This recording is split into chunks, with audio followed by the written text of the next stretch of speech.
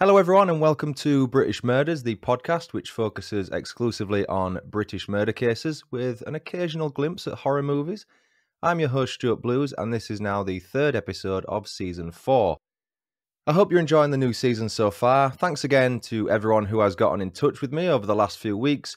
I do love interacting with my audience. I'm actually interacting with my TikTok audience right now. If you're watching this on YouTube, I've got a little video off to the side of a live recording on TikTok Shout out the 12 people watching on TikTok.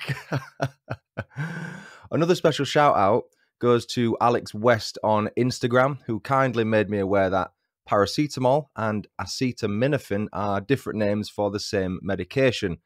In my recent Killer British Murder Stories collab with Bobby Holmes, we discussed the Chicago Tylenol murders, which involved the use of tampered Tylenol medication. Now, neither Bobby nor I realized that Tylenol also known as acetaminophen, hope I'm saying that right, is just another name for what we Brits call paracetamol. The more you live, the more you learn. Alex has kindly offered to help clarify anything medical for me in the future, so I will bear that in mind. Cheers, Alex. Time now for the opening icebreaker segment. Here's number one. Welcome to Daddy Facts. Okay, here we go.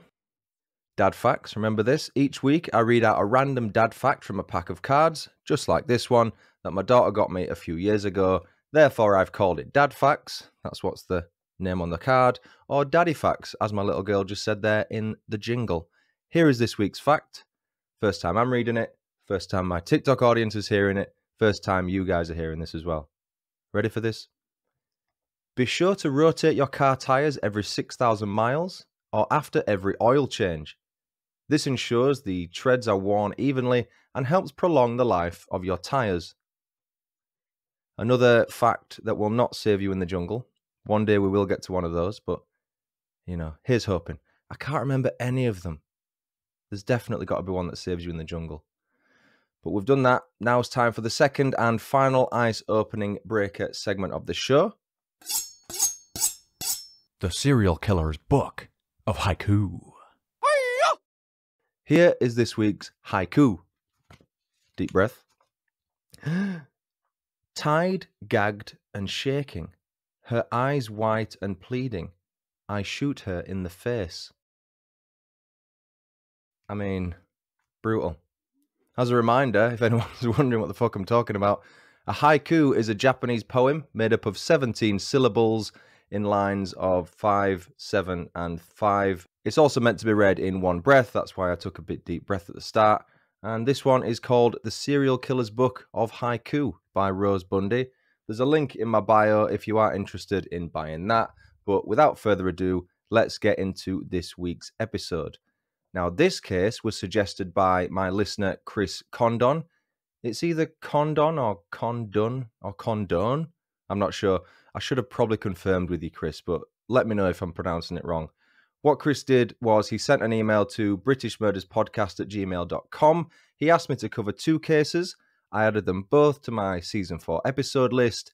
And as a result, this season, season four, is made up entirely of user suggestions, listener suggestions, should I say. If you don't want a case to be covered and get a shout out on the podcast, please get in touch. You can send me an email, hit me up on Instagram, on Twitter, or any of my social medias. Now, as always, let's start with a look at the area where this story takes place. This week, we're in the East Sussex village of Duddleswell. Now, I don't know about you, but I've never heard of this place before. I kind of like the name. It's cute, isn't it?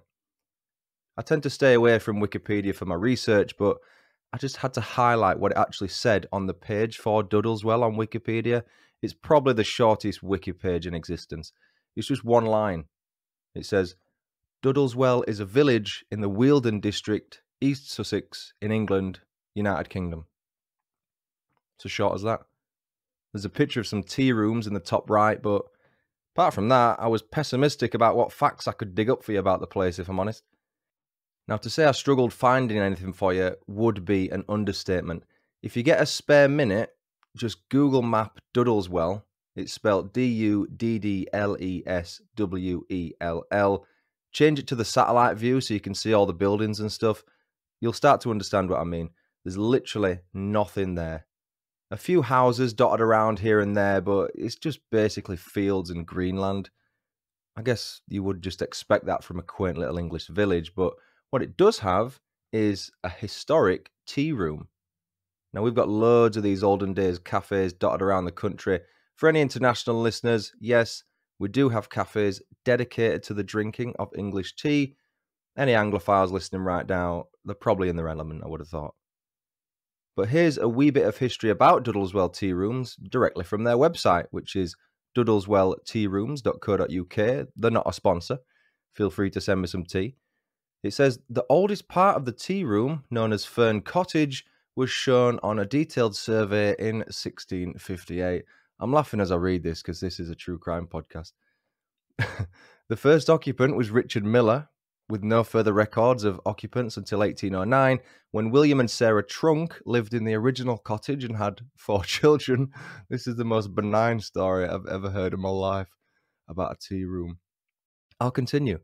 Sarah died shortly after the birth of her fourth child, and William remarried and went on to have a further six children with his second wife, Mary. Clearly, a busy boy was William, very randy lad. In 1882, I'm loving this. In 1882, John Coleman opened the tea rooms as a general store and eventually added the main house, which is now the tea rooms. Edward Scrace took over the business in 1935 with his wife and two kids. They introduced the post office, cream teas. They often rented out the old cottage as a bed and breakfast for passing tourists. And since 2006, the owners are brother and sister John Tanya.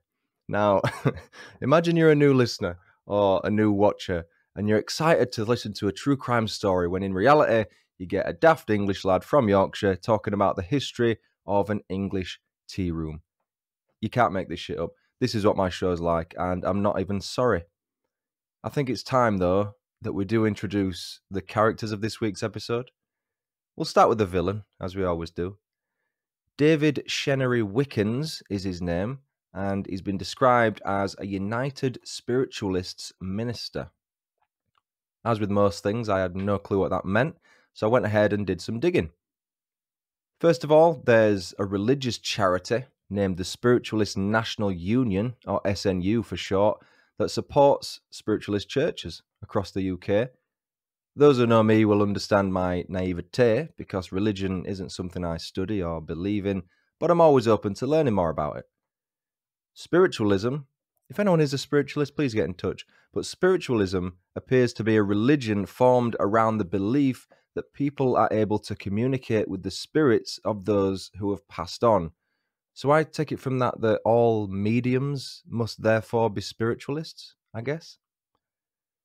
Now, United Spiritualists, of which David was a member, is a membership organization that supports the work of affiliated mediums and ministers on their chosen pathways within spiritualism of spiritual communication or ministry. David was certainly of the belief that he could communicate with the spirits of the dead, and on a separate and completely unrelated note, he also had an insatiable appetite for sex. More on that last point later. Let's now take a look at the other character in this story, David's wife, Diane Chenery Wickens. Diane worked as a makeup artist or designer, I think they're basically the same thing, on several British TV shows, including Legal Gentlemen, Benidorm, Dead Ringers, Casualty, and The House of Eliott way back in 1992. For her work as a makeup artist on a TV miniseries named Arabian Nights, which aired in the year 2000, Diane, along with four of her colleagues, won a Primetime Emmy Award that year in the category Outstanding Makeup for a Miniseries, Movie, or a Special. As with most things, I've never heard of this particular TV show, but it is rated 7.5 out of 10 on IMDb. I tried to find a link to it online, I could not find it anywhere. That's how good it is. You'd think there would be loads of background information about someone like Diane, but surprisingly, there isn't. She did work for the BBC for around 20 years, though, could tell you that much. According to IMDb, so she does have an IMDb page, she was born in 1959. David and Diane got married in 1997. They lived together in a cottage worth around half a million pounds, which isn't bad. Whilst Diane was busy making people look beautiful for television, David was getting busy in his own way. When it came to work, David helped out at the volunteer led Lavender Line Railway, a small heritage railway based at Isfield Station near Uckfield in East Sussex, down south somewhere. It's about a 10 15 minute drive south of Duddleswell. His co workers described him as being a stereotypically nice guy, nothing but pleasant. He always smiled, one of those guys. In his private life, however, it was a vastly different story. David was said to have consistently lied to his wife Diane throughout their marriage, and he was forever a financial burden on her as he was rarely employed. The railway gig, remember, was a volunteer thing. It appears as if the money Diane was making from her makeup gigs, I think she was on about 50 grand a year, it was sufficient enough to support the both of them. So David thought, fuck it, I'll just follow my spiritualist minister dream and not bother working a 9 to 5 of my own. I mean, don't get me wrong, follow your dreams, people, but don't lie about what you're getting up to and just sponge off your partner who's doing something successful with her life. I found out while researching this case that David, whilst married to Diane, had slept with a minimum of six other women, and these weren't just one night stands. He lied to those women as well, and he'd tell each of them that they were his girlfriend and that he was divorced. One such woman named Kerry Lipper explained how David referred to her as his principal girlfriend, whatever that means, and would often ask each of his extramarital partners for money. With one of the women, David managed to leech a total of £21,000 from her over a period of years, all whilst doing the same things to other women that he was doing to Diane. Now, you might think, how's he managed to swindle 21 grand out of someone? I mean, he was a pathological liar and a con man, and he had a son from a previous marriage. So, what he did was he fabricated a story about his son having a severe brain injury, and as a result, he needed to spend a lot of time away from home to care for him, or so he said. In reality, that was just an excuse to get out of the house, get away from Diane, so that he could go and sleep with other women. Those other women, though, would be told the sob story about his son, and then they'd open up the purses in an attempt to help him cover the costs of his care. So this guy, married, says, oh, you know my son from my ex-wife. Yeah, he's, he's really ill. He's got a brain tumor or he's got a severe brain injury. I need to go see him. Is it all right? Yeah, you go see him. That's absolutely fine. So he gets his away, and then the people who he's getting his away with, he tells the same sob story to, and they give him money. Hell of a business plan. It is an evil thing to do, of course. I mean, pretending your extremely unwell son is ill as as a father, it, it just baffles me. I just don't get it. Apparently, it wasn't just women he had sexual relationships with outside of his marriage either, but we'll come on to that a little bit later in the story. One of Diane's friends went on record saying that the pair had in fact ended their relationship in 2007 after 10 years of marriage. Despite allegedly both having new partners, the pair remained legally married and remained living in the cottage together, albeit estranged. As far as the background of David, Diane, and their relationship, that about does it. So let's now move on to some events that took place in January and February of 2008. Now, bear with me on this one. It's a very bizarre timeline in which I'll need to go over the events a couple of times. This is really juicy. On Thursday, January 24th, 2008, David phoned the police and reported Diane as being missing. When asked what the circumstances were, this is what David told them. He said that the pair had travelled up to London via train from West Sussex with the intention of Diane having a meeting with some of the BBC's higher ups. Presumably, it was in relation to her being hired to work in the makeup department for a new TV series. Upon reaching England's capital city, David claimed they went their separate ways, which makes sense because she would need to attend the business meeting alone, and they planned to meet up later that day once the meeting had concluded. The meetup never happened. Diane was nowhere to be seen, and to miss a meeting like this with her husband, it was incredibly out of character for her. David attempted to phone Diane, as you obviously would, and left a voicemail on her answer machine which said, Hello, darling, it's me. Wherever you are, just please get in contact. I'm trying to tune into you. You seem to be in not a good place, but I need to have some contact. I'm at home, our home, wishing you were here with me now. Please Di. I'm going frantic here. Please phone me. I love you. Bye. The police took on board everything David had told them and started looking into Diane's disappearance. They first looked at Diane's phone records, which seemed to pinpoint to her being in London at the same time as David. No issues there. But what they did next really opened up the case and brought forward a whole new chain of events. After checking the CCTV at both train stations used by the couple to make the journey to London, it was revealed that David had in fact made the trip by himself. Diane was nowhere to be seen. David had made it all up about the meeting with the BBC, about them travelling to London together, then meeting up after the meeting. The case instantly upgraded at that point from a missing person inquiry to a murder investigation. On Friday, February 1st, 2008, David Chenery Wickens was arrested on the suspicion of Diane Chenery Wickens' murder.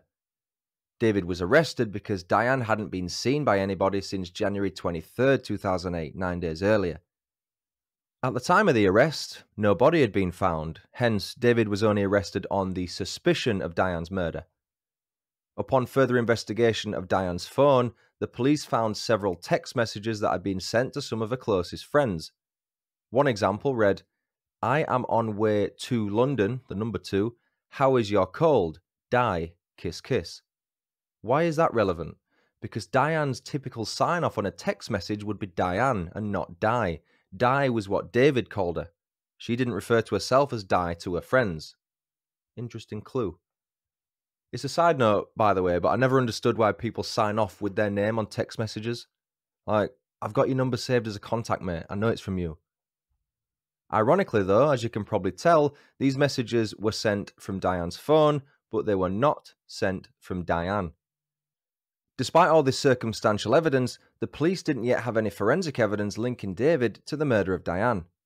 And at that point, there was also the little hiccups of there still not being a body, despite it being a murder investigation. So, what do you think the Popo did next? Yep, they searched the couple's cottage in Duddleswell. It was there they found the tiniest little trinket box with a hidden compartment. Inside were a couple of rings that had blood spatter on them. The rings belonged to Diane, and you won't be surprised to hear that the blood was also Diane's.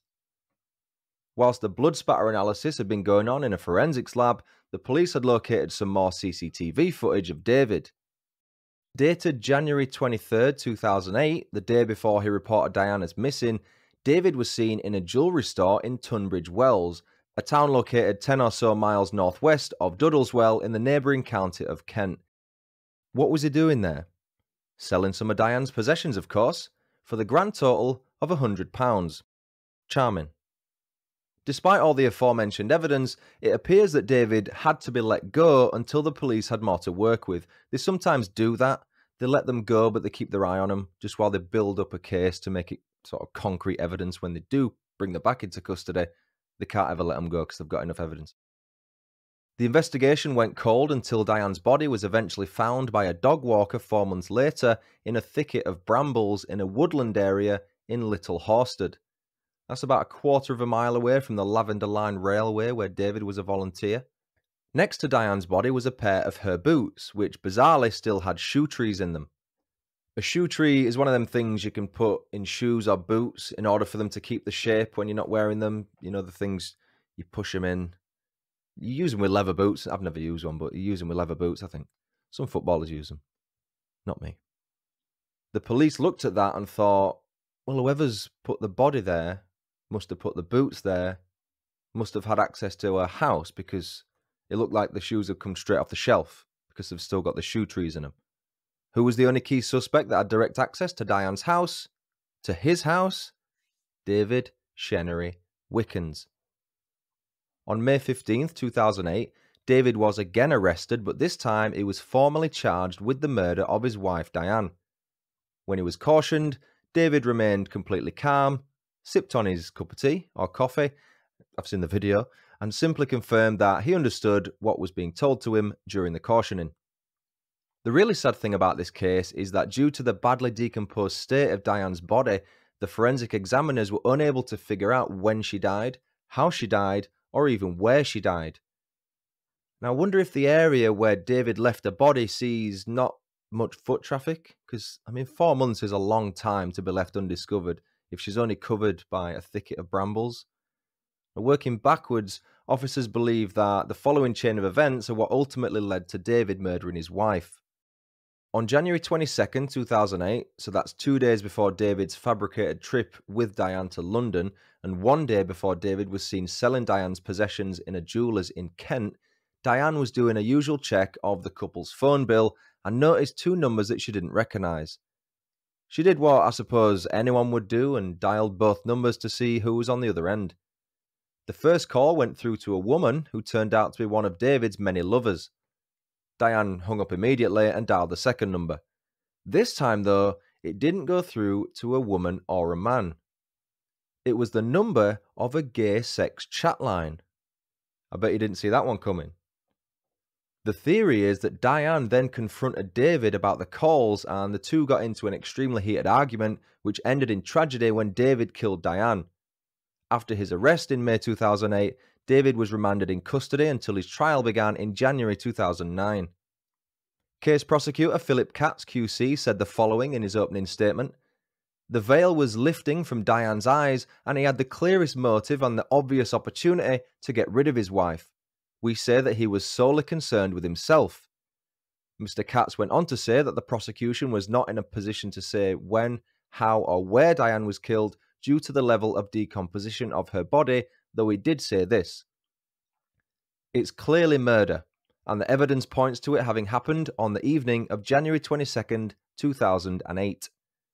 With regards to what the prosecution thought happened once David had returned from the railway where he was working on the evening of the 22nd, Mr. Katz said, No doubt when the defendant returned home shortly afterwards, there was some sort of confrontation.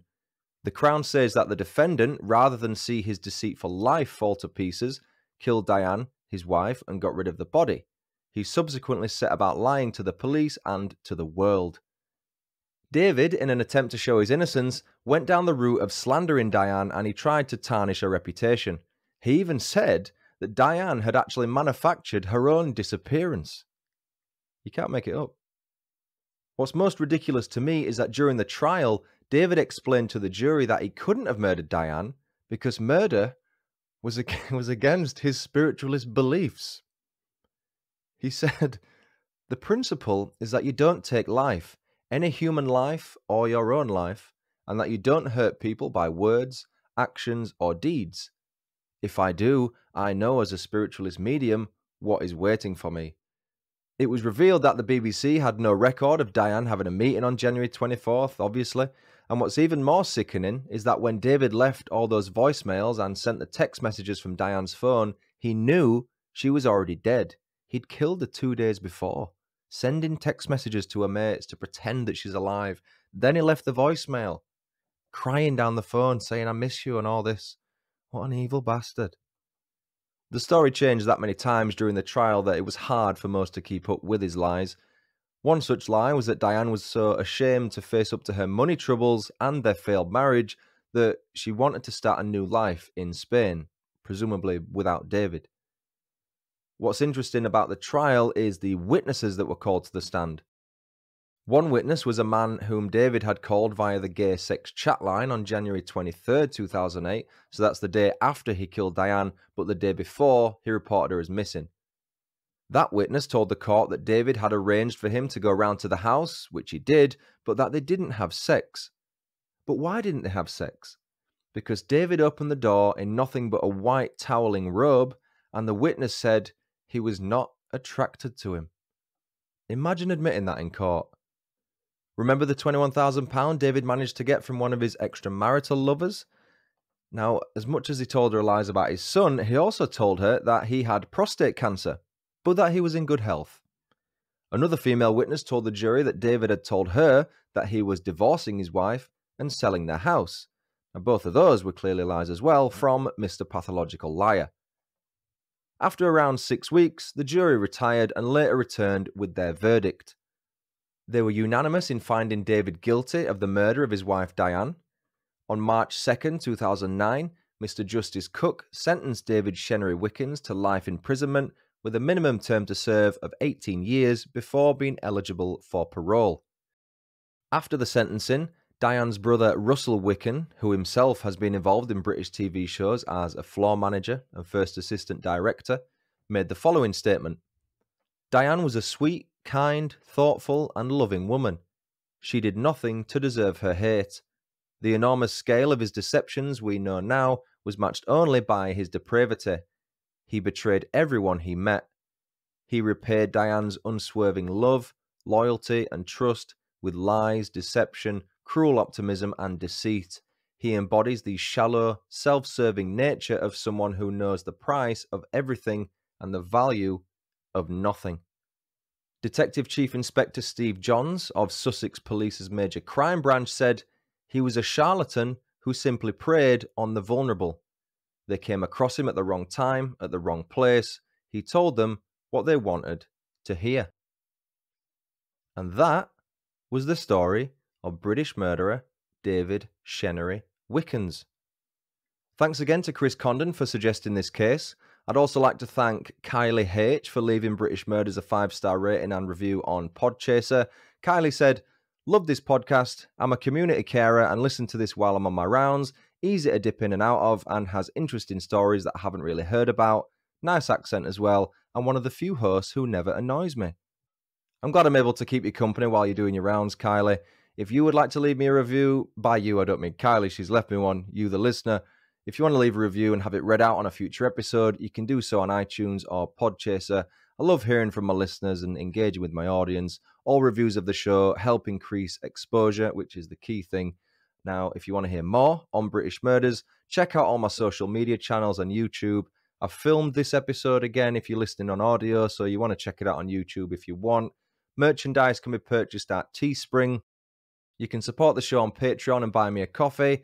You can email case suggestions via British Murders Podcast at gmail.com or via social media. You not only get the episode covered, but you will get a cheeky shout out too. Also, what I've been trialing tonight is I've been streaming this podcast recording on TikTok. And if you're on the YouTube video here, you are. I don't know how you can see that because I've not got the video on. Hello, people. I've been recording this live on TikTok.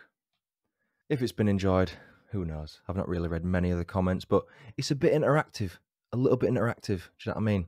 So if you want to hop on, I might do more of these if it goes down well. But that's it for now.